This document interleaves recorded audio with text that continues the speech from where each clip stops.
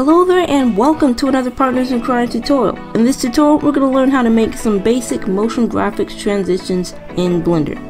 So for a quick overview of this tutorial we're going to be adding a couple of shapes, just a few circles, then we're going to insert some keyframes for them, jump into the graph editor and smooth out the animations and then we're going to add some colors and materials and we'll be finished creating our basic transitions.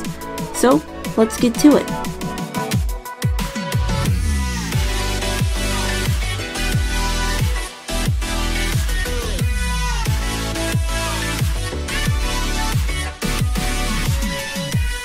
The first thing you want to do is you want to delete the default cube. Type Typing X and clicking delete.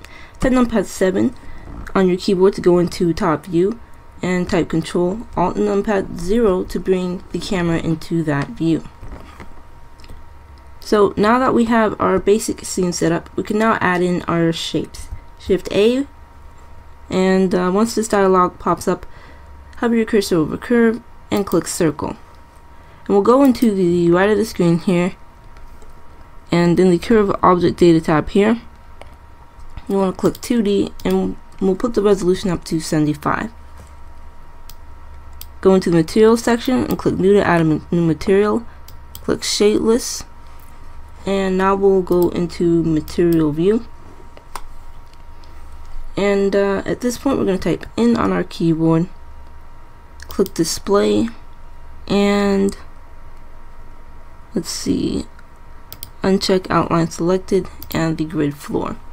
So now we're just going to pull this along the x-axis by left clicking on the red arrow and just pulling this out to the side.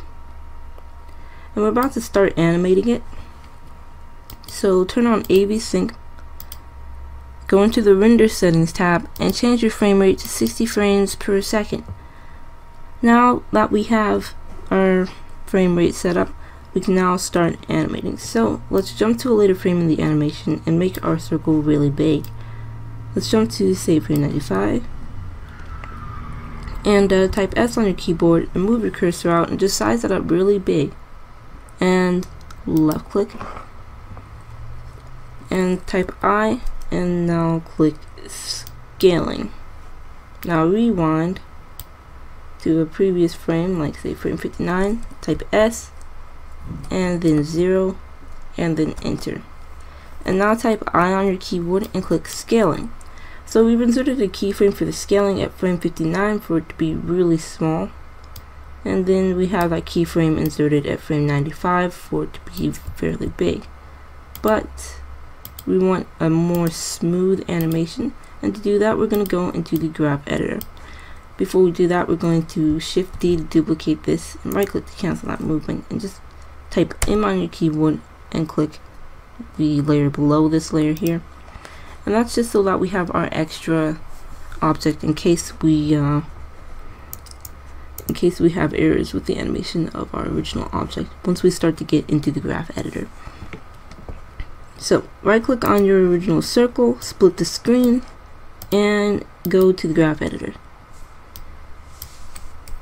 You use your middle mouse button to uh, pan around here and use the scroll wheel to zoom in or out. And uh, you can see we have our handles here. What we want to do is type A to deselect them and we will right click on this handle here and type B and left click and drag the box over our handle and type C and just hold your middle mouse button and that'll deselect these handles here leaving this handle selected. So type G and move your cursor up to move this handle up. And left click. Just move it out here a little bit. And left click. And now you can see we should just get it our animation starting up and then this little curve here is going to give it a little bit of a bounce so let's rewind. You can see there's like a slight bounce before it stops. So what we want to do is we're going to lower this by typing G and moving our cursor down. So and left click. And now it should just kind of smoothly go out with A. And that looks pretty good. So now we have one smooth circle. I'm going to shift D and move this over here and left click. And always make sure you have this cursor selected here so it should have coloration in the background when it's selected because this makes sure that you're only editing the keyframes of the object that you have selected.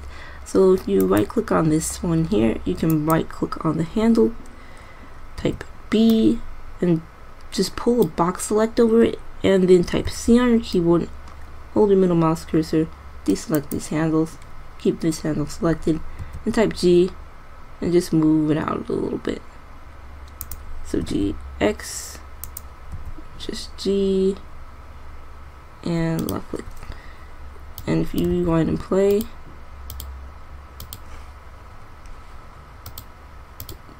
you can see we have a little bit of more faster but still pretty smooth animation.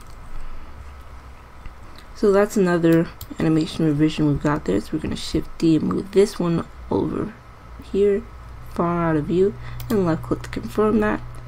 To right click back on this one and adjust the handle some more. So type G, just move it in here and left click. And now we're going to type C, circle select all of that, and then hold your middle mouse button and deselect this here and right click and then type G. Actually select this back use your um just left click. And uh, if at any point in the tutorial you don't know what keys or clicks to press you can take a look at this box over here and it will mostly accurately show you what we're clicking and typing. So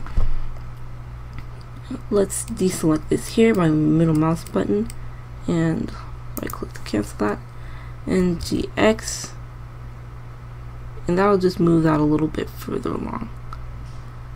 And left click rewind and play that. And that looks pretty good so far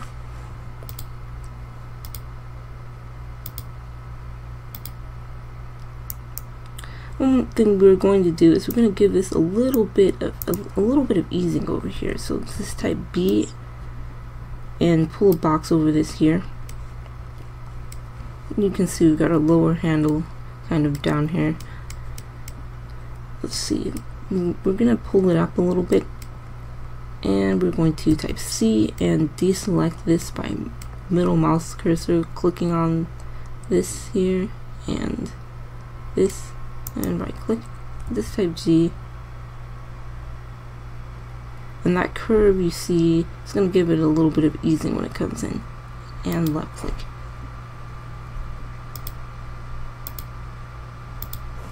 And this is looking pretty good. So we got our basic circles here. Shift D and duplicate this and move it off to the side and left click. So if we use our mouse button to pan around you can see we've got quite a couple of animations of um, animated circles. So what we're going to do now is we're going to kind of stylize with them a bit and then we'll be finished. So let's see, right click on this circle and we're going to shift D this, right click to cancel the movement and move it to the second layer by typing M on the keyboard and left clicking on the second layer. So select that layer and uh, go into the material section and click this plus to make sure this is its own material. And we'll type transition. Left click to exit that mode and uh, now we're going to make the material let's see make it any color you want actually we're gonna go with red.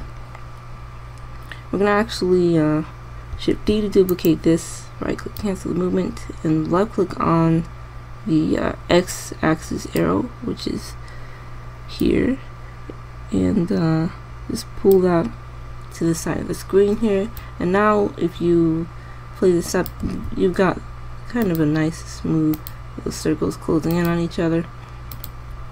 That looks, that looks really nice. Now we can shift D to duplicate this. Right click to cancel the movement. Click plus to uh, make this have a different material pull the color value down so it's a little bit darker. And we're going to go into the dope sheet which is another area where you can edit keyframes but uh, in this area we can just move them along the timeline rather than dealing with the handles. So since we've already added the handles the main thing we want to do now is shorten or lengthen our animations which is just a little bit easier to do in the dope sheet. So left click on this to make sure you only have the keyframes of the object you have selected here and type A on your keyboard and A again. Rewind throughout this animation and we are going to let's see we're going to make this animation take a little bit slower. So type S 1.5 and enter. So if you rewind move that up you can see we have our slightly slower animation. So let's uh, GZ.001 and enter. And I'll just make sure we keep our object in front of the um, the bright red we have there. And Shift D to duplicate this, right click, cancel the movement, move this off to the side here, let go of uh, left click, and just Alt A and play that through. And we now have the um, we now have a little bit more color in our scene. So we can add, we can really add one more color, and I'm thinking white. So right click on the right click on the um, light red you have here right click to cancel the movement and hold down shift and then type L and then material and it'll just select everything that has the same material which is just the other circle, and type GZ minus 0.001, and then type enter.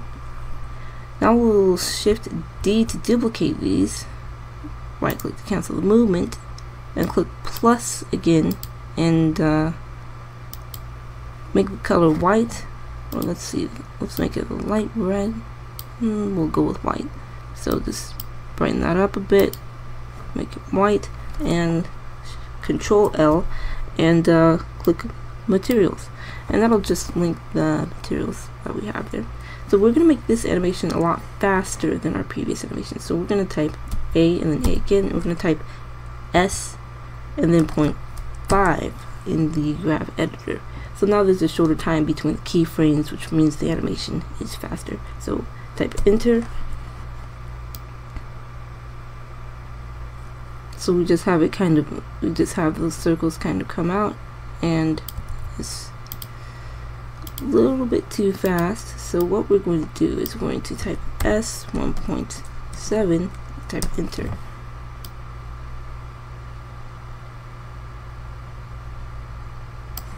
Using my mouse button to pan around and then type GZ GZ.001 and enter. Just to make sure that we've got our white circles in front of our red circles and type numpad 0 and rewind and play this back. So this looks fairly good. So we're pretty much finished making these basic circular transitions. So if you found this tutorial helpful, leave a comment below. And uh, if you like this tutorial, you can leave a like. And if you're interested in sharing some cool Blender tips around, you can share this tutorial. So um, again, if you have any suggestions for any more tutorials or any more things you would like to see us do in Blender, you can leave a comment below. Thanks for watching, and you can also check out our links in the description below to check out some Blender kits we have. So we have a tutorial also on how to render this out into a video in the description, just in case you're wondering how to do that. So again, thanks for watching, and subscribe for more tutorials from partners in crime.